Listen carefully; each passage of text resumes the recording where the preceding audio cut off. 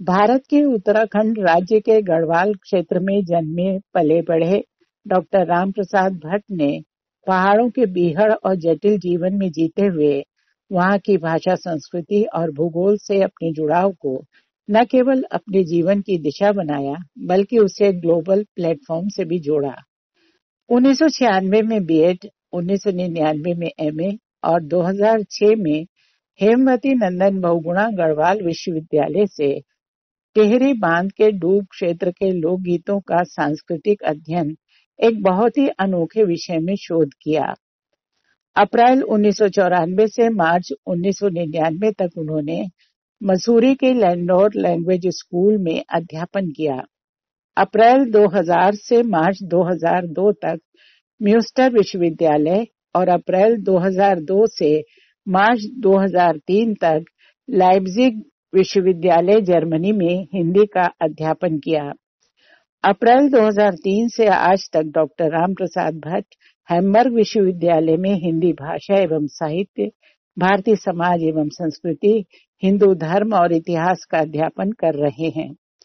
वे Hamburg विश्वविद्यालय के भारत विद्या विभाग में reader in modern Indology and senior research associate के पद पर कार्यरत हैं। इनके शोध के प्रमुख विषय हैं हिंदी भाषा एवं साहित्य में समाज, भारतीय लोक साहित्य hybrid language of north Indian youths Hindi व्याकरणिक परंपरा का इतिहास, यूरोप में हिंदी का इतिहास एवं प्रवासी हिंदी साहित्य। इसके साथ ही वे हिंदी से जर्मन अनुवाद के काम से भी जुड़े हुए हैं। उनके अध्यापन और शोध के मूल में संस्कृतियों और सभ्यताओं का अंतर संबंध है। आजकल डॉक्टर राम प्रसाद भट्ट कुछ प्रमुख शोध परियोजनाओं पर काम कर रहे हैं, जैसे history of Hindi grammatical tradition, spoken Hindi, beginners and intermediate, great tradition and little tradition, the cultural tradition of central Himalaya. Doctor Bhatt अपने विभाग में आधुनिक भारत विद्या के स्टूडेंट काउंसलर हैं और हैम्बर्ग विश्वविद्यालय के एशिया अफ्रीका संस्थान की प्रबंधक समिति के सदस्य हैं। उन्हें उनकी हिंदी सेवा के लिए 2018 में मध्य प्रदेश सरकार ने निर्मल वर्मा पुरस्कार से सम्मानित किया है। आज मन के मौसम यूट्यूब चैनल में हैमबर्ग से हमारे साथ जुड़ रहे हैं डॉक्टर राम प्रसाद भट्ट। बहुत स्वागत है डॉक्टर साहब आपका। नमस्कार। जी नमस्कार। आपका अभिनंदन। जी। तो डॉक्टर राम प्रसाद भट्ट जी शुरू से आपका रुझान भाषा साहित्य संस्कृति भूगोल और सभ्यता के बीच से विकसित हो रहे अनछुए पहलुओं को सामने लाने में रहा है। तो सबसे पहले हम जानना चाहेंगे हैम्बर्ग विश्वविद्यालय के भारतीय एवं तिब्बती संस्कृति एवं इतिहास विभाग और एशिया अफ्रीका संस्थान फैकल्टी ऑफ़ ह्यूमैनिटीज में आप शिक्षण कर रहे हैं तो कुछ उसके बारे में उसका कुछ परिचय दें। जी, धन्यवाद। हाँ ये हमारा संस्थान है, वो वास्तव में इसका वो भारत विद्या के नाम से जाना जाता है इंडोलॉजी के नाम से। जी। आजकल से साउथ एशियन स्टडीज़ भी कहते हैं वो एक नया टर्म है जो अमेरिका में क्वाइन किया गया था लगभग सिक्सटीज में ही उसका प्रचलन ज़्यादा हुआ। अभी जर्मनी में वो आया नहीं अब धीरे धीरे वो आ रहा है। लेकिन वो सिर्फ़ आर्थिक भारत विद्या के लिए उसका प्रयोग होता है। संस्कृत जो क्लासिकल स्टडीज़ है भारत की उसके उसके लिए तो अभी भी भारत विद्या का ही प्रयोग होता मतलब इंडोलॉजी का। जी। और जर्मनी आपको मालूम होगा कि जर्मनी तो इंडोलॉजी के लिए जाना सबसे अधिक इंडस्ट्री के संस्थान लगता है कि जर्मनी में ही है और यहीं से बहुत जो छात्र छात्राएँ ट्रेंड होके जाते हैं दुनिया में फिर प्रोफेसर बनते हैं बहुत जगह आपको ऐसे लोग मिलेंगे। जी। जहाँ तक संस्थान की बात है। हमारा संस्थान वास्तव में विश्वविद्यालय से भी पुराना है। जी। हमारे संस्थान की स्थापना हुई थी 1914 में और जब से यहाँ पर संस्कृत पढ़ाई जाने लगी और हमारे विश्वविद्यालय की स्थापना हुई 1919 में हम्बर्ग विश्वविद्यालय। जी। और इक्कीस बाईस से ये आप लोगों को भारत में सुनकर शायद ताजुब होगा 1921 और 22 से यहाँ पर हिंदी भी पढ़ाई जाने लगी। अरे। और जिस पद पर मैं हूँ आज ये पद उन्नीस सौ इक्कीस बाईस में इसको क्रिएट कर दिया गया अच्छा। जी। जी तो हमारे लिए तो सौभाग्य की बात है हम मना भी चुके हैं अपना सौवा वर्ष और काफ़ी काम होता है यहाँ पर। जी। दूसरी बात यह है कि यहाँ हमारे यहाँ जो पढ़ाई होती है वो अलग अलग तरह की पढ़ाइयाँ हैं। एक तो मेन ट्रैक है वो संस्कृत का है। यहाँ पर मुख्य ये है कि अगर आप हमारे यहाँ पढ़ना चाहते हैं या कोई भी छात्र छात्राएँ यहाँ पढ़ना चाहती है तो हमारा हमारी शुरुआत भाषा से होती है। अच्छा। अब लोग पूछेंगे कि भाई अगर भारत से लोग आएँगे तो उनका क्या तो उनके लिए ये है अगर उनको हिंदी आती है तो वो अपना जो उनका जो ट्रैक है वो थोड़ा ऊपर आ जाता है उनका जो लेवल है ऊपर से शुरू कर सकते हैं। जी। तो उनको वो चीज़ें नहीं करनी पड़ेंगी जो आमतौर पर एक विदेशी को करनी पड़ती हैं। लेकिन पढ़ाई में उनका पूरा जो करिकुलम है उसमें भाग लेना पड़ेगा। उसमें जो बेसिक्स होते हैं भाषा से शुरू करते हैं जो बाकी जो पढ़ाई है वो साहित्य की है संस्कृति की है समाज की है या इतिहास की है। हमारे संस्थान का नाम ही उस है the centre for cultural and history culture and history तो संस्कृति और इतिहास की पढ़ाई एक तरह से उसे माना जाता है। लेकिन हमारा ध्यान अधिकतर फिलोलॉजी पर ज़्यादा रहता है साहित्य पर ज़्यादा रहता है और संस्कृति और समाज पर तो वो इतिहास के पूरा के इर्द गिर्द वही आता है। जी। चार ट्रैक हैं अलग अलग अभी तो एक है क्लासिकल इंडियन स्टडीज़ का और का। दूसरा है बुद्धिज्म का। बुद्धिज्म भी पढ़ सकते हैं। तीसरा है स्टडीज़ का। उसमें हिंदी और आती है। और जो क्लासिकल है उसमें संस्कृत पाली और यहाँ तक कि तिब्बती भाषा भी आती है। फिर है तमिल का एक ट्रैक अभी हमने शुरू हमारे यहाँ शुरू हुआ कुछ वर्षों पहले। तो तमिल क्लासिकल तमिल और मॉडर्न तमिल की भी यहाँ पर पढ़ाई संभव है। तो कम से कम एमए से और पीएचडी तक कर सकते हैं। और जो बाकी तीन हैं उनमें तो बीए से और आप आगे तक पहुँच सकते हैं जहाँ भी जितनी भी ऊपर की पढ़ाई होती है। जी। और उसके अलावा हमारे यहाँ तिब्बतन भाषा का भी एक सेक्शन है और तिब्बत तिब्बतन स्टडीज़ भी यहाँ पर पढ़ाई जाती है। तो हमारा जो संस्थान है वो एक एशियाई आपने जैसे पहले नाम बताया। जी।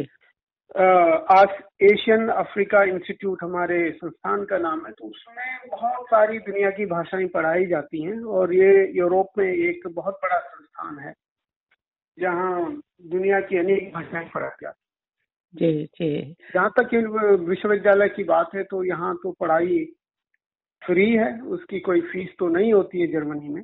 हम्म हम्म। अधिकतर विश्वविद्यालयों में फ़ीस नहीं है।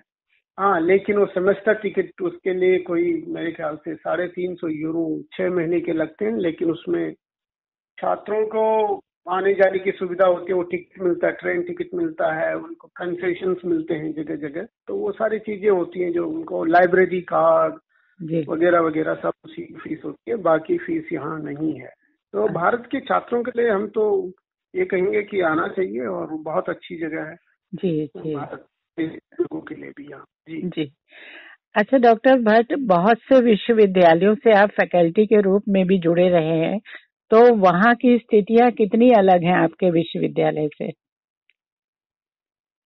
जी दूसरे विश्वविद्यालय में एक तो ये है कि जैसे अगर आप मैं गेंट जाता हूँ बेल्जियम में तो वहाँ वो विभाग इतना बड़ा नहीं है वो छोटा है। वहाँ पर मुख्यतः जर्नलिज्म और कुछ चीज़ें मॉडर्न इंडिया की भी होती है वहाँ हिंदी भी पढ़ाई जाती है लेकिन उसका लेवल अलग है।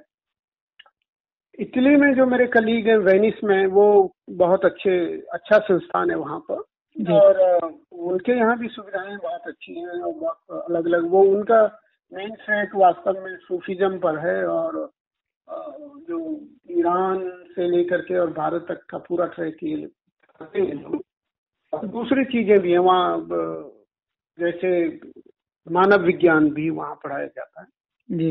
हालाँकि ये हमारे यहाँ भी पढ़ाया जाता है लेकिन वो हमारे संस्थान का भाग नहीं है। कई विश्वविद्यालयों में ये होता है कि मानव विज्ञान और मानविकी और जो इंडोलॉजी है वो एक साथ रखे गए जैसे कि हाइडलबर्ग में यहाँ पर है।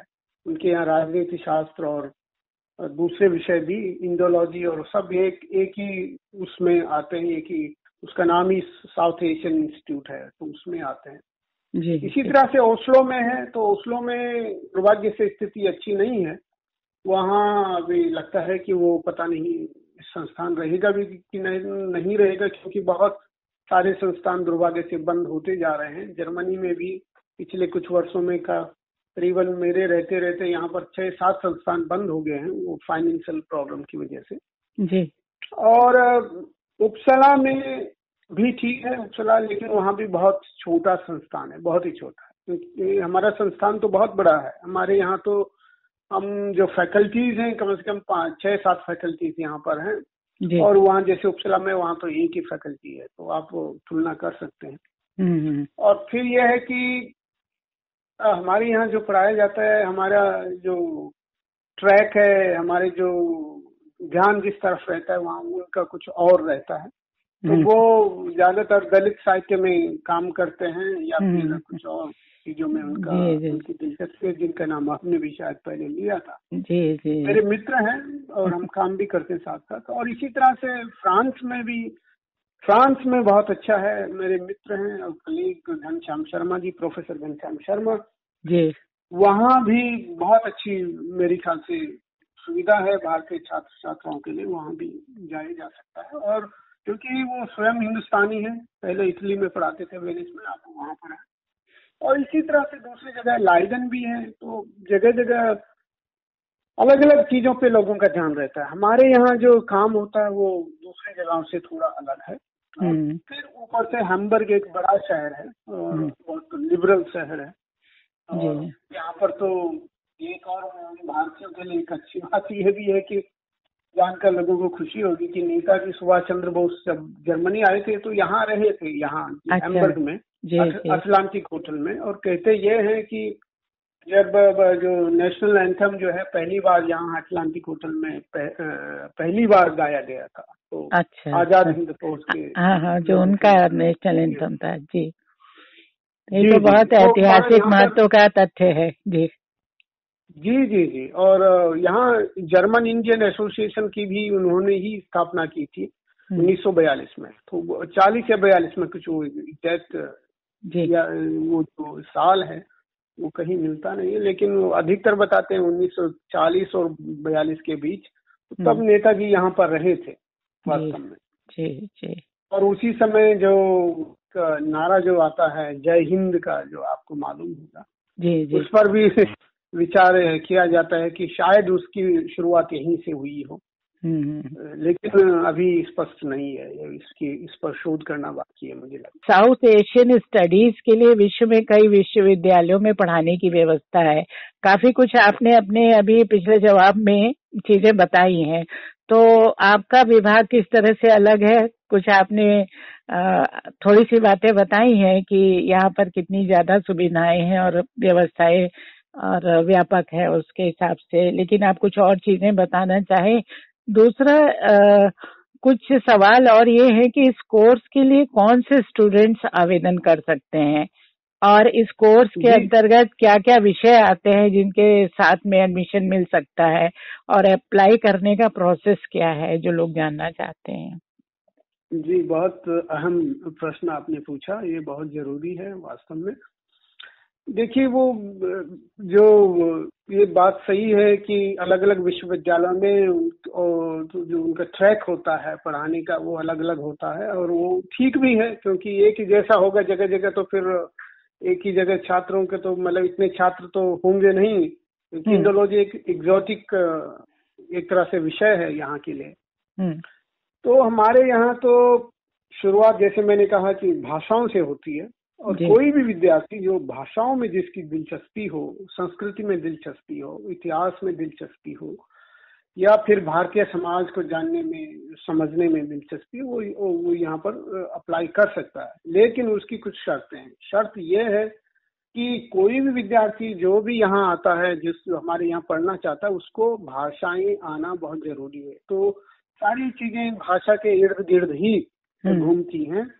हम बिल्कुल ज़ीरो से शुरू करते हैं भाषा से और फिर आगे बढ़ते हैं और यहाँ पीएचडी और डीलेट वगैरह तक भी जा सकते हैं जी। आ, उसमें जैसे मैंने पहले कहा जो ट्रैक्स हैं एक तो पहला जो है वो संस्कृत का है। अगर आपको संस्कृत आती है तो बिल्कुल आप हमारे यहाँ आ सकते हैं। और अगर आप हिंदी के विद्वान हैं हिंदी अच्छी आती है तो आप आ सकते हैं। उर्दू आती तब भी आ सकते हैं। आप मतलब आधुनिक भारत कोई भी भाषा है हम्म। तो लेकिन हिंदी उसमें प्रमुख है। तो हिंदी आनी बहुत ज़रूरी है। जी। तमिल तमिल के लिए भी स्टिम आप अप्लाई कर सकते हैं। हम्म। और तिब्बतन के लिए भी। ये पाँच छह भाषाएँ जो हैं वो ज़रूरी है। अब होता यह है कि हम भाषा से शुरू करते हैं और फिर आगे जो दूसरे क्लासेस होती हैं जैसे कल्चरल हिस्ट्री हम पढ़ाते हैं फिर हिस्ट्री ऑफ़ लिटरेचर पढ़ाते हैं हम्म। या समाज पढ़ाते हैं। मीडिया भी हम पढ़ाते हैं। जो साउथ एशिया मीडिया है साउथ एशिया का जो मीडिया है वो भी पढ़ाते हैं। तो उसके और फिर कोलोक्वियम होता है बहुत सारी चीज़ें होती है। और हर छात्र को हर सेमेस्टर कम से कम एक साल में दो पेपर्स एक्स्ट्रा लिखने पड़ते हैं। वो जो एकेडमिक पेपर्स होते हैं वो भी लिखने होते हैं। जी। तो पढ़ाई यहाँ पर थोड़ी अलग है। भारत से तो बहुत ही अलग है। हम्म। क्योंकि यहाँ छात्र ओरिएंटेड स्टूडेंट ओरिएंटेड स्टडीज़ होती है और यहाँ पर ये नहीं चलता है कि आपने जो किताब में लिखा है वो पढ़ा और वही आगे ठीक है वैसे ही चल रहा ऐसा नहीं है। यहाँ पर छात्रों को ये सिखाया जाता है कि आपको सोचना कैसे है। आपको स्वयं आर्गुमेंट करना है आपको प्रश्न करने हैं आप और फिर उसको अप्लाई करना है। तो भाषा एक ऐसा माध्यम है एक इंस्ट्रूमेंट के रूप में हम लोग इस्तेमाल करते हैं। और आप सबको मालूम है कि बिना भाषा के तो कुछ हो ही नहीं सकता। जी जी।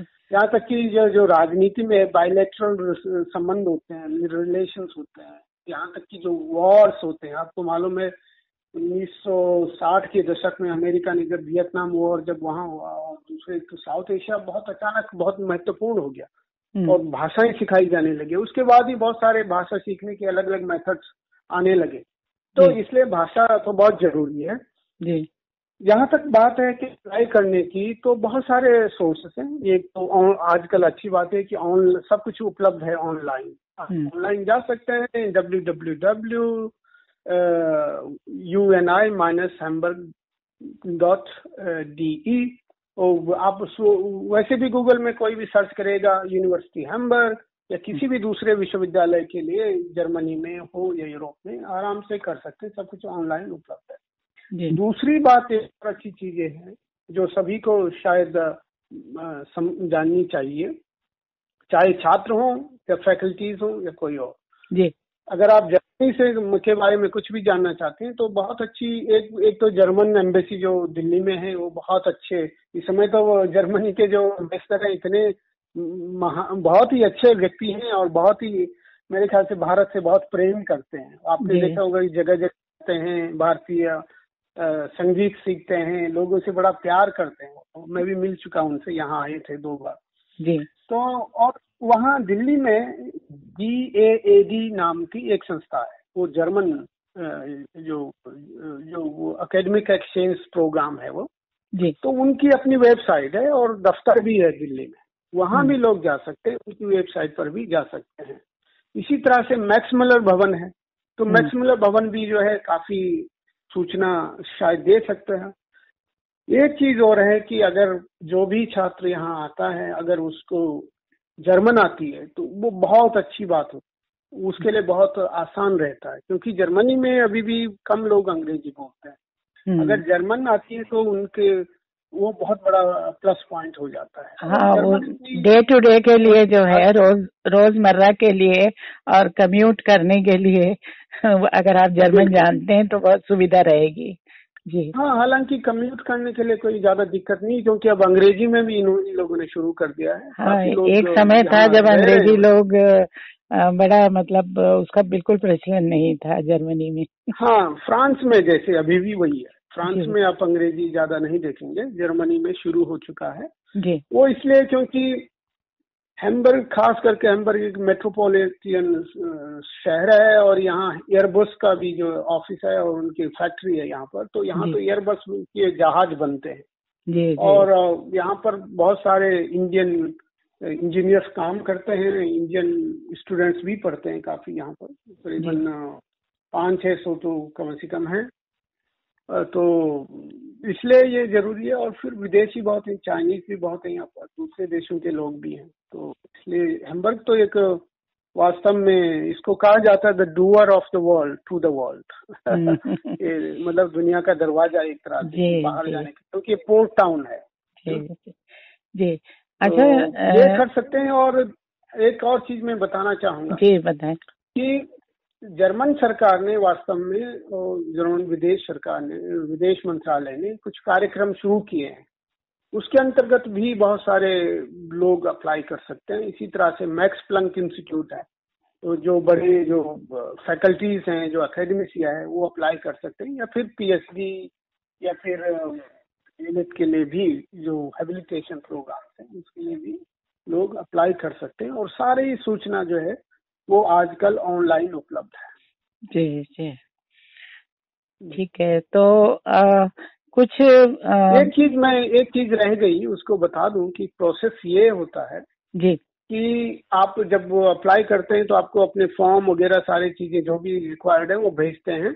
हम्म। और खास करके बीए के लिए अगर कोई करता है बैचलर डिग्री के लिए हमारे यहाँ बैचलर चार साल का है ऑनर्स है। जी। तो वो उसमें थोड़ा प्रोसेस थोड़ा लंबा होता है और एमए के लिए अगर करते हैं तो उसका प्रोसेस प्रोसेस थोड़ा छोटा होता है। तो वो उसका उसका मतलब ये है कि जो बीए के लिए उसकी एक्सेसिंग प्रोसेसिंग जो है वो यूनिवर्सिटी के कोई भी लोग करते हैं जो नॉन फैकल्टीज होती हैं और एमए के लिए फैकल्टीज रिक्रूट करते हैं। वो सीधे फैकल्टीज के पास वो अप्लीकेशन आती हैं वही डिसाइड करते हैं कि किसको लेना है और किसको नहीं लेना और पीएचडी के लिए ये होता है कि आप डायरेक्ट जो है प्रोफेसर से बात कीजिए। जी। वो प्रोफेसर अगर उसके पास जगह खाली है और समय उपलब्ध है उपलब्ध है तो वो आ सकते हैं। आप यहाँ पर ये होता है कि आपको कम से कम 1200 यूरो जो है आपके पास होने चाहिए यहाँ रहने महीने में। जी। तो या तो वो आपको वजीफा मिलता है तो वजीफा या तो यूनिवर्सिटी देती है या किसी दूसरी संस्था से आप ले सकते हैं अगर उपलब्ध है प्रोफेसर के पास ये जगह तो जी, और जी. कुछ ऐसे भी करते हैं कि जो आप अगर प्राइवेटली अगर आप फंड कर अपना फाइनेंस कर सकते हैं तब भी जो है प्रोफेसर अगर चाहे उनके पास जगह है और वो समझते हैं कि वो छात्र जो खर्च कर रहा है वो इसके काबिल है कि वो पीएचडी कर सकता है हमारे यहाँ। तो वो फिर प्रोफेसर स्वयं जो है निर्णय ले लेते हैं कि लेना है नहीं लेना जी जी। और उनके ईमेल ईमेल सब ऑनलाइन उपलब्ध है। ईमेल से फ़ोन नंबर से सब ऑनलाइन ये तो बहुत ही मतलब एक तरह से ओपन कहा जाए कि व्यवस्था है सारी कुछ जिसके लिए बहुत ज़्यादा इधर उधर बीच के लोगों से बात करने की ज़रूरत नहीं है। सीधे समझा जा सकता बिल्कुल है। नहीं बिल्कुल नहीं नहीं बिल्कुल नहीं। वो तो यहाँ एक अच्छी बात यह है कि यहाँ शिक्षा के शिक्षा के क्षेत्र में कोई भी दखल नहीं है किसी का भी। जी। तो जो अध्यापक है वही अध्यापक चाहे वो कोई भी अध्यापक है चाहे वो बिल्कुल लोन ले लोन नहीं कहना चाहिए मुझे माफ़ कीजिए। मतलब बहुत छोटी चीज़ें करता है कोई या हम्म। फिर कोई एडोक लेवल एडोक के रूप में काम कर रहा है। चाहे हम्म। वो एक क्लास ही पढ़ाता हो लेकिन वो जो क्लास है उस पर सिर्फ़ उसी अध्यापक का अधिकार होता है। जी। वो जो निर्णय ले लेगा उस निर्णय को कोई बदल नहीं सकता। ये तो बहुत वो बड़ी ईमानदारी वो निर्णय ईमानदारी से लेता है। अगर नहीं लेगा तो है। तो इसलिए क्योंकि इसकी इतनी ज़िम्मेदारी होती है सारी ज़िम्मेदारी जी जी। कि वो स्वयं इसका निर्णय लेना लेगा। पर यूजीसी वगैरह जैसी कोई संस्था नाम की चीज़ नहीं है। इसका हम्म। मतलब है कि जो जो भी करिकुलम है जो भी चीज़ें हैं उस वो सिर्फ़ डिपार्टमेंट और अध्यापक वास्तव में जो पढ़ाने वाला है वही निर्णय लेता है कि उसे क्या पढ़ाना है और कैसे पढ़ाना है और कैसे वो अपने छात्रों को ट्रेन कर सकता है। तो ये एक बहुत बड़ी ज़िम्मेदारी है तो इसलिए एफिशिएंसी बहुत महत्वपूर्ण है। स्वतंत्रता अगर आपको चाहिए तो आपको उतनी ही ज़्यादा ज़िम्मेदारी भी निभानी पड़ती है। ये दोनों चीज़ें एक दूसरे से बहुत ही गंभीर रूप से जुड़ी हुई हैं। और यहाँ पर तो यह है कि आप अगर ठीक से नहीं पढ़ाते हैं आपने कोई काम इधर उधर कर दिया क्लास में देर से आ गए बिना बताए क्लास में नहीं आए तो आपकी नौकरी जा सकती अच्छा। क्योंकि विद्यार्थी आपकी कंप्लेन कर देगा। तो वो हम्म। देखिए वो स्वायत्तता वो फिर रहे दरी की दरी रह जाएगी। क्योंकि दूसरी तरफ़ आपको भी नियंत्रण छात्र कर रहे हैं। यहाँ पर छात्र आपको नियंत्रण कर रहे हैं। हम्म, और। जो दूसरी तरफ़ है अगर नॉलेज के बारे में तो वो फिर जो अध्यापक है वो नियंत्रित नियंत्रण करते हैं। तो ये इसको रिलेशन बहुत ज़रूरी है। और भारत में सब शिक्षा की सबसे बड़ी समस्या यही है कि वहाँ पर कोई भी किसी के प्रति भी न तो लॉयल मुझे लगता है कोई आजकल जो भी मैं देखता हूँ और न ही जो है वो ज़िम्मेदारी कोई लेना चाहता है। जी। मैं सबकी बात नहीं कर रहा हूँ लेकिन हाँ, नहीं एक आम माहौल जो है जी। जी आप सही कह रहे हैं। तो नक्सर भविष्य में इन छात्रों के लिए आगे रोज़गार की क्या संभावनाएँ हैं? हाँ ये प्रश्न तो ज़रूर अच्छा है। अब देखिए, क्योंकि जो हमारे यहाँ पढ़ता है, वो सिर्फ़ इंडोलॉजी पढ़ता है उसमें दो विषय पढ़ने पड़ते हैं। तो जैसे अगर मेन ट्रैक अगर उसने इंडोलॉजी लिया तो वो सेकंड ट्रैक जो है, अगर मान लीजिए, अगर वो इकोनॉमिक्स लेता है, अर्थशास्त्र लेता है, या लॉ लेता है, या कुछ और लेता है मेरे ख्याल से अर्थशास्त्र बहुत अच्छा है लॉ भी बहुत अच्छा है या कंप्यूटर साइंस है कुछ ऐसे विषय अगर कोई लेता है हम्म। तो उसका तो भविष्य बहुत अच्छा है जी अगर कोई छात्र सिर्फ़ भाषाओं तक सीमित रहता है तब भी थोड़ी बहुत चलता है खास करके लिंग्विस्टिक्स के क्षेत्र में क्योंकि आप बहुत आगे बढ़ सकते हैं बहुत सारा काम कर सकते हैं हम्म। अगर आप सिर्फ़ इंडोलॉजी और किसी और दूसरी तरह के विषय पढ़ते हैं जैसे जापानोलॉजी आपने ले ली इंडोलॉजी ले ली ऐसे भी होते हैं कॉम्बिनेशन हम्म। वहाँ भी संभावना हैं लेकिन वो संभावनाएँ फिर कम होंगी। क्योंकि वहाँ तो गिने चुने ही पद होते हैं जैसे अगर आप एम्बेसी में काम कर रहे हैं या आप कल्चरल ट्रेनी बन गए या फिर आप प्रोफेसर बन गए टीचर बन गए या फिर आप जो है कहीं किसी किसी कंपनी के कल्चरल मैनेजर या कल्चरल जो सलाहकार होते हैं वो हम्म। बन गए या आप, आप अनुवादक बहुत अच्छे अनुवादक आप बन सकते हैं हम्म। ऐसे ऐसा मेरा अपना अनुभव है आपको ताजुब होगा जानकर कि हम्म। जर्मनी में जितनी भी फ़िल्में आती हैं हिंदी की फ़िल्में आती हैं और उन सब का जो अनुवाद होता है वो दो अनुवाद करने वाली दोनों लड़कियाँ छात्राएँ रही अच्छा है। एक सोनिया महमर्ग में है और गाबी जो है वो कलोन में काम करती है। दोनों ने हमसे हमारे यहाँ पढ़ाई कुछ समय तक पढ़ाई खैर सोनिया ने तो यही एम किया और हम्म। गाबी ने कुछ समय तक यहाँ पढ़ाई की तो वो सब लोग कर जी। यहाँ पर उनके कलाकार है। और शायद एक कंपनी है जो बड़ी सॉफ्टवेयर कंपनी है जर्मनी की तो उसके भी जो बॉस थे पहले कभी मेरे ख्याल से कुछ वर्षों पहले तक जर्मन थे वो बेंगलोर में थे तो वो भी हमारे यहाँ से गए थे हम्म। हमारे कभी छात्र थे तो ऐसा नहीं है कि संभावना नहीं है। अगर आप अच्छे छात्र हैं तो आपकी संभावनाएँ बढ़ जाती हैं।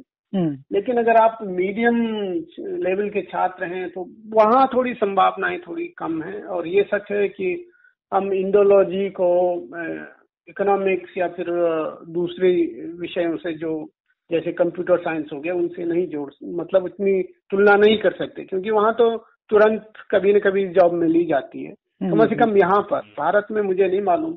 हम्म। भारत में तो ये सुनने में आता है इंजीनियरिंग भी करते हैं तब भी जॉब नहीं मिलती है। तो जी। तो ये संभावनाएँ हैं वास्तव में और मेरे ख्याल से अनुवाद के क्षेत्र में तो बहुत सारी संभावनाएँ हैं। और एक और चीज़ जो। तो बड़ा दुर्भाग्य है कि भारत सरकार उस तरफ़ कम ध्यान देती है देना चाहिए कि वहाँ पर अच्छे शिक्षकों को ट्रेंड किया जाए जो विदेशों में पढ़ाए जा करके हम्म। क्योंकि ऐसे बहुत कम शिक्षक उपलब्ध होते हैं जो साहित्य भी जानते हैं संस्कृति में भी जिनका दखल होता है और जो वास्तव में व्याकरण पर भी अपना अपनी पकड़ रखते हैं क्योंकि यहाँ तो अब आप बिना व्याकरण के आप यहाँ किसी विदेशी को पढ़ा नहीं सकते। तो व्याकरण मुख्य है। व्याकरण आना बहुत ज़रूरी है और लिंग्विस्टिक्स भी थोड़ी बहुत आनी चाहिए। तो ऐसे लोग जब ट्रेंड होंगे तो दुनिया में जाकर के वो पढ़ा सकते हैं और वो तो फिर इसका स्वरूप भी बदल सकता है। अच्छा डॉक्टर साहब आपने अनेक मंचों से हिंदी के पक्ष में वातावरण बनाने के लिए प्रयास किए हैं। बहुत सारे आपके वक्तव्य और बहुत सारे कार्यक्रम चले हैं तो कुछ उनके बारे में बताएँ। जी अच्छा सवाल है। हाँ हिंदी के लिए तो देखिए हम तो काम ही इसी लेकर यहाँ पर इसका पर कर ही रहे हैं। और सबसे पहले तो ये है मुझे बहुत खुशी होती बताने में कि हम यहाँ पर जब मैं आया यहाँ पर 2003 में तो हमें हमने शुरू किया था एक हिंदी इंटेंसिव कोर्स हिंदी गहन अध्ययन पाठ्यक्रम शुरू किया था। जी। और वो पाठ्यक्रम तब से वो कोर्स चला आ रहा है और अभी तक जो है हर साल होता है इस मतलब पिछले इस साल भी नहीं हो पाया पिछले साल भी नहीं हो पाया वो तो कोरोना की वजह से नहीं हो पाया। नहीं तो हमारे यहाँ रजिस्ट्रेशन बहुत थे और लेकिन दिक्कत ये थी कि लोग फिजिकली आना चाहते थे तो वो संभव नहीं था। हम्म, हम्म। कोरोना की वजह से। लेकिन उससे पहले उन्नीस दो हज़ार उन्नीस तक जो हमारे जो कोर्स हुए हैं उसमें वो सब ऑनलाइन उपलब्ध है ये हमारे कोर्स के बारे में भी। हम्म। तो बहुत छात्र छात्राओं ने भाग लिया। लगभग अभी तक जहाँ तक मुझे ध्यान है छह सौ तिहत्तर बच्चे ये मैं उनकी बात कर रहा हूँ जो हमारे यहाँ छात्र नहीं है। छह सौ तिहत्तर लोग उस पाठ्यक्रम के माध्यम से हिंदी सीख चुके हैं। अच्छा। तो ये मेरे लिए बड़ी गर्व की बात है बड़ी बात है क्योंकि जो छात्र जो हमारे यहाँ छात्र नहीं है ये वो लोग हैं जो छात्र हैं उनकी संख्या तो अलग है वो तो हम्म, हम्म। उसको तो यहाँ नहीं बता रहा हम्म। लेकिन वो जो बिल्कुल इस कोर्स के माध्यम से जिन लोगों ने हिंदी सीखी एक एक तो ये है दूसरी बात हम क्या करते हैं कि यहाँ पर अलग अलग तरह के कार्यक्रम करते हैं जैसे अभी बीच अभी हमने आठ से चौदह नवंबर को हमने इंडिया वीक मनाया तो। उसको भी हम बहुत सालों से मना रहे हैं यहाँ पर तो उस दौरान भी हम हमारे छात्र थिएटर परफॉर्मेंस करते हैं। और बहुत सारी दूसरी एक्टिविटीज़ हमारी होती है लेक्चर्स होते हैं कविता पाठ होता है जगह जगह अनुवाद भी करते हैं हम्म।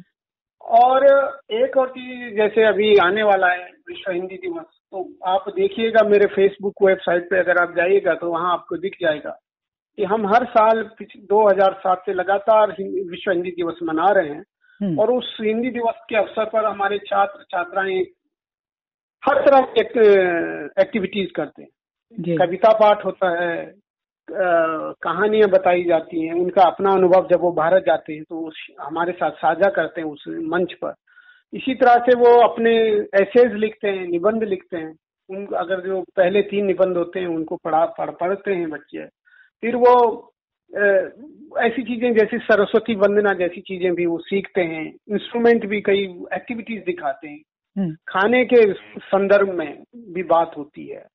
ड्रेस साड़ी पहनना वगैरह सब चीज़ें भी यूज़ करते हैं। क्योंकि ये सब भाषा से जुड़ी हुई चीज़ें हैं। क्योंकि शब्दावली होती है। हम्म। जैसे आपने खाना बनाया तो खाना बनाना है तो उसके लिए क्या क्या चीज़ें चाहिए वो भी भाषा से जुड़ी हुई है। हम्म। और कहीं दुकान पे जाकर के काम कर वो करना एक चीज़ है। और एक और महत्वपूर्ण चीज़ है जो पूरे भारत के लोगों को मेरे ख्याल से जानना चाहिए। हम्म। कि 2014 के बाद एक बात तो अवश्य कुछ हुई है कि लगभग यूरोप में कई जगहों पर कई देशों में और कई एयरपोर्ट्स पे अब देवनागरी में लिखा जाने लगा है। अगर आप तो हमारे स्वागत की बात है जी। हमारे शहर हेम्बर्ग आएँगे हम्म। तो एयरपोर्ट पे लिखा है आपका स्वागत है। और हमने यहाँ म्यूज़ियम यहाँ जो म्यूज़ियम है मुख्य म्यूज़ियम है वहाँ पर भी देवनागरी में लिखवाया। इसी तरह से बहुत दूसरी जगह है यहाँ पर बड़ी कंपनियाँ हैं कई कंपनियाँ। अब उन्होंने भी अपना अपने दरवाजे पे लिख दिया स्वागत।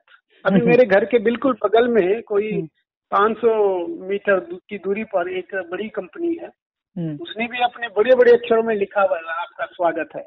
हम्म। तो ये ये चीज़ बदली है अभी कुछ और। मैं काफ़ी घूमता हूँ यूरोप में और जाता हूँ जगह जगह हालाँकि हम्म। भारत में ही बहुत घूमता तो यूरोप में बदलाव आया वास्तव में। बेल्जियम आप जाएँगे तो वहाँ भी। तो ये एक नया एक नई दिशा मिली है। तो इस पर भी हमने ये हमने कई लोगों को लिखा। हालाँकि हमने शुरुआत काफ़ी पहले कर दी थी 2010-11 में हमने। जब यहाँ गांधी के गांधी जी के नाम पर एक ब्रिज का एक पुल का नाम रखवाया हम्म। लोगों ने काफ़ी मेहनत की उसके लिए। हम्म। तो गांधी जी के नाम पे एक पुल का नाम रखा गया और वो पुल जो है जो यहाँ हेम्बर का जो बहुत ही महत्वपूर्ण बिल्डिंग है जो फिल हारमोनी हारमोनिका है जी। उसके लिए वो रास्ता जाता है। तो वो मतलब संगीत और गांधी जी आप समझ सकते हैं बहुत हम्म। बड़ी बात है क्योंकि दुनिया के बड़ी बड़ी हस्तियाँ वहाँ थी। जी तो तो अच्छा। वह ये इस तरह से काम हो रहा और फिर कॉन्फ्रेंसेस होती हैं वहाँ भी हिंदी में बात होती है। धीरे धीरे ये बदलने लग गया थोड़ा। माहौल बदलने लग गया लोगों की सोच बदलने लग गई। तो ये इसलिए भी हुआ है जब लोग भारत में स्वयं हिंदी का प्रयोग करेंगे हम्म। खास करके जो नेता लोग हैं जो राजनीतिज्ञ हैं अगर वो हिंदी का प्रयोग करेंगे तो एक एक संदेश जाता है विदेशों में कि हाँ वो ज़रूरी है। तो ये हो रहा है और हमारे जो प्रयास हैं अनुवाद भी हम खूब कर रहे हैं काफ़ी अनुवाद किए हैं हम्म। जगूड़ी जी की कई कविताओं का अनुवाद हो चुका है इसी तरह से जो दूसरे मंगलेश डबराल है अब मेरा थोड़ा स्वार्थ तो है ही क्योंकि मैं उत्तराखंड से हूँ तो हम्म। मैं थोड़ा जो क्योंकि उत्तराखंड के लोगों को थोड़ा इग्नोर किया जाता है हिंदी खास करके हिंदी के बड़े तथाकथित जो आलोचक हैं वो इग्नोर करते। मैं सोचता हूँ कि ज़रूरी बर्तवाल की, की कविताओं का हमने अनुवाद किया जर्मन में उन पर तो आलेख भी आए हैं। जी। और इस तरह से विमल जी के कविताओं का अनुवाद हुआ मोहन रावण की कविताओं का अनुवाद हो गया है। और दूसरे ये नहीं कि सिर्फ़ वो उत्तराखंड के दूसरे भी जो जो अभी जो क्या नाम है प्रयाग शुक्ल हैं उनके अभी हम उनको बुलाएँगे अभी इस हिंदी दिवस पर जगूरी जी और प्रयाग शुक्ल को आने वाले हिंदी विश्व हिंदी दिवस पर मना बुला रहे हैं तो उनकी कविताओं का अनुवाद होगा। तो वो एक अलग माध्यम है जो हम्म। पब्लिक तक पहुँचता है और हिंदी का प्रचार प्रसार हो रहा। और दूसरी बात है कि फ़िल्म के माध्यम से हम लोग ये फ़िल्में भी दिखाते हैं। फिर हिंदी का प्रभाव जो है थोड़ा बढ़ रहा है और प्रसार बढ़ रहा है वास्तव जी। जी जी। अच्छा डॉक्टर राम प्रसाद भट्ट जी अंतर्राष्ट्रीय स्तर पर आपने भाषाओं के अंतर संबंधों पर कई महत्वपूर्ण बीज वक्तव्य दिए हैं। जैसे 2017 में समकालीन हिंदी, कन्नड़ और अंग्रेज़ी साहित्य में नारी संवेदना, अधुनातन हिंदी कथा एवं उपन्यास साहित्य में स्त्री, दलित, आदिवासी एवं अल्पसंख्यक विमर्श और हिंदी एवं जर्मन कथा साहित्य में स्त्री चित्रण। तो ये जो आपका लेखन और जो मंचों पर आपने शेयर किया तो कुछ उनके अनुभव ही बताएँ आप। जी काम देखिए ये बहुत हो रहे हैं कई बार तो भारत में तो थोड़ा उसकी जो क्वालिटी है दुर्भाग्य से थोड़ी अलग रहती है और यहाँ यूरोप में उसकी अलग है। जी। तो काम मेरा जो मेरा जो शोध का विषय है मेरे शोध के जो दिलचस्पी जिस क्षेत्र में है वो तो एक तो लोक साहित्य में है। जी। और दूसरा स्त्री विमर्श पर मेरा काफ़ी वैसे काम भी किया है छप भी गया है और उसमें मैं हर सेमेस्टर जो हूँ हर दूसरे सेमेस्टर एक स्त्री विमर्श और दलित चेतना दलित विमर्श और जो रा, राष्ट्रवाद जो क्या कहना चाहिए राष्ट्रवाद की जो बात है वो ये अलग अलग जो है और डिवीज़न जो पार्टीशन ऑफ़ इंडिया ये सब चीज़ें हम पढ़ाते हैं यहाँ पर। तो उसी के माध्यम से क्योंकि दिलचस्पी है मेरी हम्म। तो उस पर काफ़ी संवाद भी हुआ है और मैंने लिखा भी है और आ, कुछ व्याख्यान भी दिए हैं। जगह जगह भारत में तो बहुत सारी जगह अभी पिछले वर्ष और इस वर्ष तो पता नहीं कितने हो गए सेमिनार हम्म। तो अच्छा कई विश्वविद्यालय बहुत अच्छा काम कर रहे हैं भारत में और लेकिन थोड़ा मुझे दुख इस बात का होता है कि वहाँ क्वालिटी पर कम ध्यान दिया जाता है और एक तरह से होड़ मच गई है कि ये करना ये करना है। अब मुझे मालूम नहीं एक बार किसी ने यूजीसी के किसी मित्र ने बताया था कि क्रेडिट सिस्टम हो गया भारत में और इसलिए कोई भी कुछ भी करता है। तो ये वास्तव में हो रहा है लेकिन कुल मिलाकर मेरा जो अनुभव रहा वो अच्छा रहा और मैं तो सभी साथियों को का साधुवाद देना चाहूँगा अभिनंदन करना चाहूँगा कि वो काम करते रहे। हाँ सिर्फ़ ये है कि हमको थोड़ा क्वालिटी पर ध्यान देना चाहिए। जी। आ, मुझे चीज़ और बहुत अच्छी लगी कि दक्षिण में हिंदी पर बहुत अच्छा काम हो रहा हम्म। और लोग बड़े उत्साह से काम कर रहे हैं खास करके कर्नाटका में। आ, मुझे लगा कि बहुत काम हो रहा वास्तव में। जी। वो उनकी जो उनका जो हिंदी से संबंध है हम्म। और जो जिस संवेदना के साथ ये लोग काम करते हैं वो मुझे कम से कम उत्तर भारत में नहीं दिखता है। उत्तर भारत में जो कहते हैं ना ओवरली वो दिखावा बहुत ज़्यादा है हम लोगों को। ये हम्म दिखावा कम होना चाहिए। ये मैं ये नहीं कि ऐसे विश्वविद्यालय की बात नहीं कर रहा हूँ जो जैसे हमारे मित्र हैं राजकुमार जी अ, जी उधर क्या नाम है बनारस हिंदू विश्वविद्यालय में बहुत अच्छे वहाँ बनारस विश्वविद्यालय में वहाँ बहुत अच्छा काम कर रहे हैं हम्म। बीएचयू में। हम्म, इसी तरह से चौबे जी हैं देवेंद्र चौबे हैं इधर जेएनयू में बहुत अच्छे उनसे हमारा बहुत काम होता रहता हम लोग मिलते रहते हैं काफ़ी अच्छा काम करते हैं। लोहनी जी हैं मेरठ विश्वविद्यालय में इसी तरह से पुरोहित जी हैं उधर गढ़वाल उत्तराखंड में। तो कुछ बहुत सारे ऐसे जो कलीग्स हैं जो जिनके साथ मेरा लगातार काम चलता रहता है और हम लोग एक दूसरे की भी मदद करते रहते हैं। हम्म, एक दूसरे से सीखते भी हैं। तो मैं ये कहना चाहूँगा कि मेरा जो अनुभव रहा वो अच्छा भी था खराब भी था लेकिन ओवरऑल मैं ये समझता हूँ कि जो सांस्कृतिक सामाजिक और आर्थिक और भौगोलिक परिप्रेक्ष्य को ध्यान में रखते हुए मेरा अनुभव लगभग अच्छा रहा। यूरोप में जो अनुभव रहता है वो तो अलग है। यूरोप की बात यह है कि यूरोप में आप जो आप कागज़ में जो लिखते हैं बिल्कुल वही करते हैं और बिल्कुल एक सटीक टाइम होता है और उसमें उसका जो फॉर्मेट होता है वो अलग होता वो हम्म, थोड़ी सी मुझे कमी खलती है भारत में कि वहाँ प्रश्न उत्तर का सेशन होता ही नहीं है। हम्म, और हमारे यहाँ बिना प्रश्न और उत्तर के सेशन के आपका लेक्चर होता ही नहीं है। तो ये बहुत बड़ा फ़र्क है। अगर हम हाँ ये तो ये तो बहुत बड़ी कमी है जी।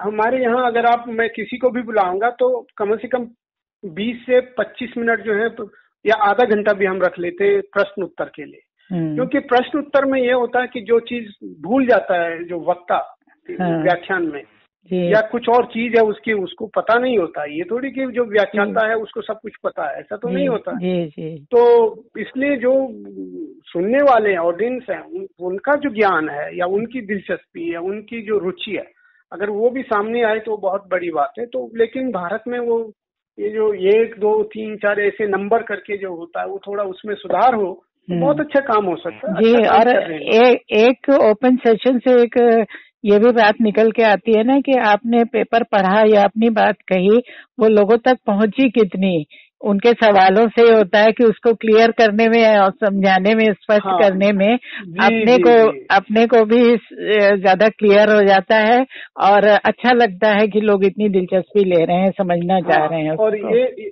जी जी और ये चीज़ और जो मुझे वहाँ दिखी भारत में जो आमतौर पर दिखती है कि लोगों के हाथ में मोबाइल होता है। हर समय वो किसी का फ़ोन आ रहा है कहीं कुछ अगर आप यहाँ यूरोप में आकर ऐसा करेंगे you will be kicked out of the room बिल्कुल सही। इतनी हमारी यहाँ शक्ति होती है कि हम्म। मतलब सत्ताईस होती है कि आपको अप मतलब इज़्ज़त करनी है जो सामने जो वक्ता है आपने बुलाया वो बोलना बोलना उसको सुनिए। नहीं हम्म। सुनना आप बाहर जा सकते हैं। बाहर जाइए लेकिन आप अगर अंदर ही आपका मोबाइल बज रहा है तो ये बहुत ही खराब माना जाता है यहाँ। बहुत हम्म। ज़्यादा खराब। तो हमारे यहाँ तो अगर किसी छात्र ने या किसी फैकल्टी ने ऐसा किया तो वो करते नहीं है सबको पता होता है हम्म। तो ये थोड़ी सी अगर सुधार हो तो वो फिर उसमें एक फॉर्मेट में कुछ सुधार आएगा और जानकार लोग हैं ज्ञाता लोग हैं ज्ञानी लोग हैं भारत में हम्म। बहुत बहुत ऐसे लोग हैं वो तो बिल्कुल फराटे मतलब बिना पढ़े ही बोलते हैं यहाँ पर अधिक अधिकतर लोग पढ़ करके बोलते हैं हम्म, उसका कारण ये है कि यहाँ लोग बिल्कुल टू द पॉइंट बात करना चाहते हैं। वो इधर उधर नहीं भटकना चाहते। जी जी। और बिल्कुल अपनी जो सही आपने सही मुद्दे पे उंगली रखी है आपने। जी जी जी। नहीं नहीं वो मेरा अनुभव आपने का अनुभव बताइए तो मैं हाँ, वही बता नहीं नहीं वही कह रहे तो- जो फराटे तो वाले हैं वो कितना विषय से इधर उधर रहते हैं। वो भटक जाते हैं ना फिर अपने मुद्दे से। तो सारा ज्ञान- लोग मैंने देखे सारा ज्ञान एक ही विषय में देना चाहते हैं वो। हाँ जी जी। तो यहाँ पर ये होता है कि आपका फॉर्मेट है बीस मिनट का मतलब है बीस मिनट। हम्म, और आपका ठीक है पाँच मिनट दस मिनट पाँच मिनट ऊपर नीचे हो जाता है वो तो खैर अगर दिलचस्पी है दिलचस्प अगर व्याख्यान है तो अच्छा है होना चाहिए ऐसा। लेकिन अगर सिर्फ़ इधर उधर की बातें तो उससे काम नहीं चलता। तो ये मुझे लगता है कि भारत में जो भी व्याख्यान होते हैं अगर उनमें प्रश्नोत्तर का सेशन रखें उस पर अधिक ध्यान दें। और, और छात्रों को या जो ऑडियंस है उनको पहले ही हम्म। सूचित कर दें कि इस पर होगा व्याख्यान ये होगा। तो लोग कई लोग तो आते भी हैं पढ़ करके आ सकते हैं और हम्म। बात करते हैं और वो और दिलचस्प व्याख्यान जो है वो और दिलचस्प हो जाता है। सार्थक हो जाता है कार्यक्रम। जी जी नहीं उसमें जो सूचनाएँ हैं उसमें जो एक एक तरह से जो वार्ता होती है वो हो जाती है ना जो अकेडमिक हम्म। वार्ता है वो हो जाती है। जी जी। और अगर कोई आया और सिर्फ़ बोला और चला गया तो उसका तो कोई ज़्यादा कुछ होता नहीं है प्रभाव। हम्म, हम्म। इस ये ये फ़र्क है यहाँ यूरोप में और भारत में। खास करके हिंदी वालों में। हाँ। मैंने मेरे व्याख्यान जैसे पत्रकारिता जो लाल चतुर्वेदी विश्वविद्यालय है भोपाल में वहाँ गया था तो वहाँ का मेरा अनुभव अलग है। वहाँ था और इसी तरह से आई आई टीज में होता है या मुंबई सोशल साइंस के जो संस्थान हैं बहुत सारे ऐसे संस्थान हैं भारत में जो अंग्रेज़ी में तो बहुत सिस्टम बदल बदला हुआ है हम्म। ये सिर्फ़ कुछ कारणों से हिंदी में ही कुछ इस तरह की चीज़ें हैं कि वो एक की थोड़ी कमी है हमारी जी जी अच्छा डॉक्टर साहब हिंदी भाषा के प्रचार और प्रसार में इलेक्ट्रॉनिक और प्रिंट माध्यम आपको कितने प्रभावी लगते हैं जी बहुत प्रभावी है इसका हम्म। एक छोटा सा उदाहरण आपको देना चाहूँगा हम्म। कि सन साठ के दशक में बल्कि पचास से शुरू होता है जब सेकेंड वर्ल्ड वॉर खत्म होता है। उसके बाद यूरोप में लोगों की जो हालत थी आर्थिक स्थिति बहुत कमज़ोर थी और सामाजिक स्थिति स्तर पर भी बहुत विघटन था बहुत ज़्यादा। और आपको याद होगा कि उस समय राजकुमार सॉरी राज कपूर की फ़िल्में आ रही थी। जी। तो श्री चार सौ बीस सौ साठ के दशक में। और जो दूसरी फ़िल्में हैं तो यूरोप में खास करके ईस्ट यूरोप में उनका बहुत प्रचलन हुआ क्योंकि रूस जाते थे और रूस की रूसी के माध्यम से रूसी में ग्रीस में एक ऐसी स्थिति पैदा हो गई थी तो कोई मिड फिफ्टीज या सिक्सटीज की बात हुई हम्म। कि वहाँ पर उनकी सरकार को इतना डर लग गया था कि हिंदी फ़िल्में जो है उनके जो थिएटर का जो उनकी जो परंपरा है वो नष्ट कर देगी हम्म। इसलिए उनको, क्योंकि वहाँ जो फ़िल्में थी, वो राज कपूर की फ़िल्में वो कई हफ्तों तक एक ही थिएटर में चल रही थी, क्योंकि लोग इतने प्रभावित हो चुके थे। और उसका प्रभाव ये हुआ कि लोगों ने, आप चाहे उनको कुछ और आता है, नहीं आता है, लेकिन वो जो तस्वीरें देखते हैं, या जो भाषा का जो वो होता है, लोगों के इंटरेक्शन होता है उसको तो लोगों को सीखने को मिला, लोगों ने उसको जाना, उसके माध्यम से वास्तव में बॉलीवुड को हिंदी वालों का हिंदी वालों को बॉलीवुड का बहुत धन्यवाद करना चाहिए क्योंकि हम्म। बॉलीवुड के माध्यम से हिंदी बहुत हिंदी का प्रसार बहुत हुआ पूरी दुनिया में जी जी और अभी तो हो ही रहा अभी तो आपको मालूम है कि बहुत सारे विदेशी जो नायिकाएँ हैं जो एक्टर्स एक्ट्रेसेस एंड एक्टर्स और सिंगर्स वो भी भारत आ रही हैं ये हम्म। कारण यही है क्योंकि उसकी शक्ति है इतनी बड़ी पब्लिक है भारत में। और ऑनलाइन होने से, हिंदी साहित्य जैसे और पत्र, पत्रिकाएँ और जो समाचार पत्र हैं, इस इलेक्ट्रॉनिक की वजह से, प्रिंट मीडिया की वजह से, ऑनलाइन होने की वजह से बहुत मदद मिली है। और हम जैसे लोगों को भी बहुत मदद मिली है। मैं जब पहले दो हज़ार छह, सात, आठ में तक वहाँ भारत जाना पड़ता था कि हमें अगले वर्ष क्या पढ़ाना है।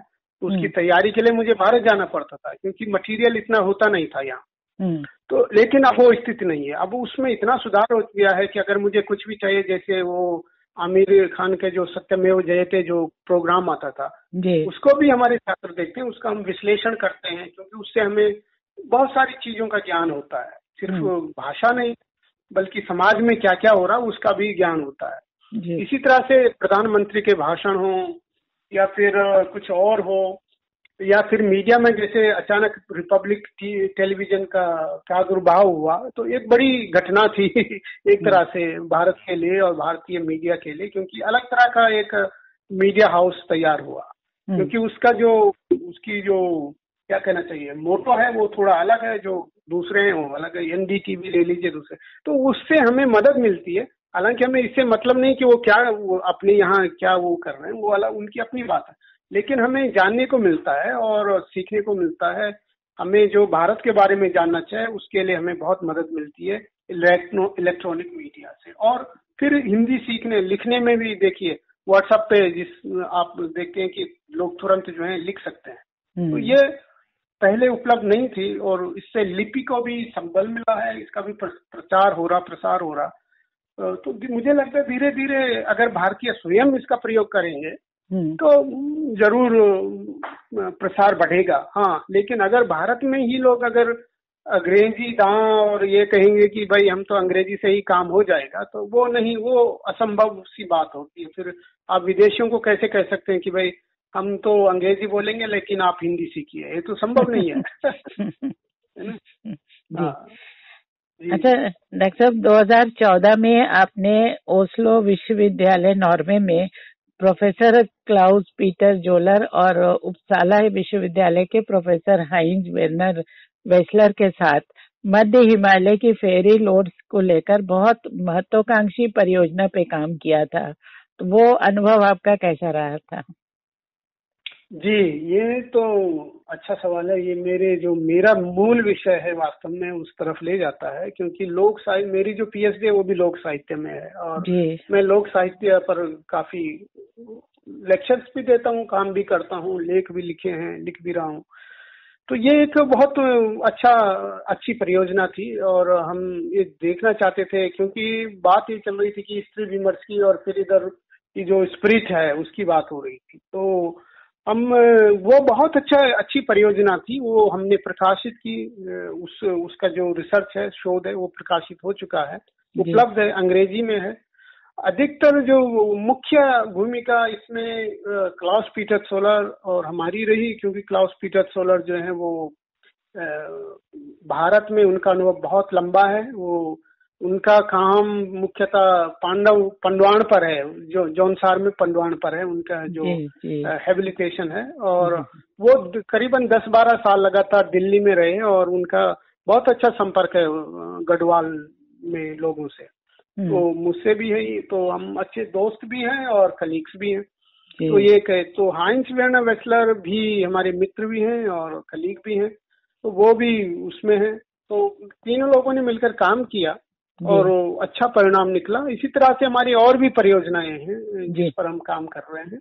जैसे? एक एक परियोजना है जो बहुत ही महत्वपूर्ण है वैसे भारत के लिए। और भारत में शायद लोगों को मालूम भी नहीं होगा हम्म। कि हिंदी का पहला व्याकरण देवनागरी में कब लिखा गया था। तो मेरा सौभाग्य है कि मैं उस पर काम कर रहा हूँ। ये मेरे एक प्रमुख शोध परियोजनाओं में से एक है। वो है हिंदी व्याकरण व्याकरण व्याकरणिक परंपरा का इतिहास। जो। The history of the history of the grammatical tradition of India Hindi. Hmm. तो दिलचस्प है कि जो व्याकरण लिखे गए वो बहुत पहले लिखे गए थे। भारत में तो बहुत बाद में शुरुआत हुई है। हम्म। और एक और दिलचस्प बात यह है कि जो व्याकरण लिखे गए थे पहला व्याकरण उस पर तो हमारे कलीग और मिस्टर तेज भाटिया प्रोफेसर हैं सिराकुस यूनिवर्सिटी अमेरिका में हम्म। वो काम कर चुके हैं अठारह में केटलार हम्म। उनका नाम था एक जो डच जर्मन स्पीकिंग आदमी था जो क्रिमिनल था यहाँ पर और डच ईस्ट इंडिया कंपनी के साथ वो भारत गया हम्म। सोलह सौ अस्सी में सोलह सौ बयासी में लगभग वो भारत पहुँचता है और कहाँ पहुँचता है आप जानकर हैरान होंगे सूरत में तो हम्म। सूरत से वो काम करता था और बाद में उसने हिंदुस्तानी सीखी और हिंदुस्तानी सीख करके वो इतना आगे बढ़ गया ये एक महत्वपूर्ण मुद्दा भी है वैसे कि हम्म। क्यों भाषा सीखना ज़रूरी है हम्म। उसने हिंदुस्तानी सीखे और उसके बाद फारसी सीखे अच्छा तो वो व्यक्ति जो है वो पहले क्रिमिनल था उसने अपने बॉस को जहर देने की कोशिश की मारने की कोशिश की यहाँ से भाग गया स्वीडन चला गया फिर वहाँ से वो इंडिया गया तो वहाँ पर ये होने की वजह से वो उसका बहुत अच्छा संबंध हो गया औरंगज़ेब से। उस समय औरंगज़ेब की सत्ता थी। हम्म। और उधर से उसने फिर फारसी भी सीखी। तो वो फिर जो पूरा ईरान इराक वाला एरिया उसके उसमें उसको भी कवर किया। और यूरोप से तो उसे आती ही थी अंग्रेज़ी भी शायद आती होगी और डच और जर्मन भी आती थी। हो सकता है कि फ्रेंच भी आती हो मुझे नहीं मालूम। लेकिन लैटिन भी उसको आती थी। तो पहले लैटिन जैसे भारत में पहले महत्वपूर्ण थी संस्कृत वैसे यहाँ लैटिन थी। हम्म।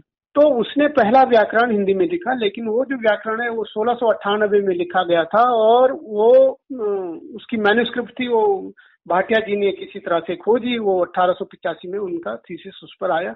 और बाद में उन्होंने वो मैन्युस्क्रिप्ट को भी पब्लिश किया। अभी उस पर एक और थीसिस आया है बाद में तो मुझे नहीं लगता कि ज़्यादा परिवर्तन उसमें है पर थोड़ा परिवर्तन है कुछ वो जो नया थीसिस आया उस पर उसमें ये ज़्यादा ध्यान जो है वो अरेबिक और फारसी की तरफ़ गया है। खैर और जो दूसरा जो हिंदी का व्याकरण है और देवनागरी का प्रयोग जिसमें पहली बार हुआ है और मेरे ख्याल से अब तक की जानकारी के अनुसार तो पहला व्याकरण है वो। हम्म। सत्रह सौ तीन और चार में लिखा गया था एक फ्रेंच मिशनरी द्वारा। अच्छा। और वो वो भी सूरत में रह करके लिखा गया। तो समझ हम्म। लीजिए कि गुजरात क्यों इतना आज भी शायद ज़रूरी है और हम्म। पहले से भी ज़रूरी रहा तो हिंदी वालों को तो शुक्रगुजार होना चाहिए कि वहाँ गुजरात से हिंदी का बहुत प्रचार प्रचार हुआ है वास्तव में। तो ताजुब की बात है कि गुजरात में सूरत में रह करके ये दोनों व्याकरण लिखे गए और उसके और भी बहुत सारे काम हुए हैं सूरत से। तो उस व्याकरण पर उसको तो लोगों को ज़्यादा पता नहीं हालाँकि मैं कुछ लेक्चर्स तो दे चुका हूँ। अभी पेरिस में भी हुआ था। तीन चार तीन से पाँच नवंबर को हमारी बड़ी कॉन्फ्रेंस थी उसमें भी मेरा पेपर था इस पर। जी। और अभी मैं उस पर वो कर चुका हूँ लैटिन से उसका जर्मन और इंग्लिश में लगभग दो तिहाई काम कर चुका हूँ। और हालाँकि लैटिन है थोड़ा सा मेरे लिए मुश्किल तो है लेकिन मदद लेता हूँ कुछ लोगों की। हम्म। तो ये देखिए कि इस तरह से भी काम हो सकता है। ये बहुत ही नए ढंग का काम है जी। जी जी तो ये मुझे थोड़ी लैटिन सीखनी पड़ी पर कोई बात नहीं। तो इसलिए ये ये महत्वपूर्ण है और मुझे आशा है कि आने वाले वर्षों में वो काम जो है हिंदी में भी देखने को मिलेगा और अंग्रेज़ी में तो होगा ही। जी। तो बहुत बधाई आपको कि आप इतने नए क्षेत्र खोज रहे हैं और उनमें काम कर रहे हैं। तो doctor Bhatt covid nineteen pandemic के परिप्रेक्ष्य में आप इंटरनेशनल स्टूडेंट्स को क्या मार्गदर्शन और प्रोत्साहन देना चाहेंगे? क्योंकि बड़ी सब जगह की स्थिति इसकी वजह से प्रभावित है। जी हाँ। नहीं ये तो देखिए वो सब हम लोग उसको भुगत रहे हैं सारे लोग लगभग और हमारे तो पिछले दो वर्षों से सारी क्लासेस ऑनलाइन ही हो रही हम तो जबकि मेरा अपना दफ्तर है अकेला बैठता हूँ दफ्तर में फिर भी हमें अलाउड नहीं है दफ्तर जाना। हम्म। इस समय से। तो मेरी सलाह तो और सुझाव यही होगा कि सबसे पहले तो अपने आप को फिट रखना चाहिए। जी। और फिट रखने के लिए देखिए आप बहुत सौभाग्यशाली लोग हैं जो लोग भारत से हैं या भारत में रहते हैं या भारत में जिनका जन्म हुआ है। क्योंकि हमारी जो संस्कृति है और परंपराएँ हैं वो मुझे लगता है बहुत ही महत्वपूर्ण और साइंटिफिक भी हैं बहुत सारी।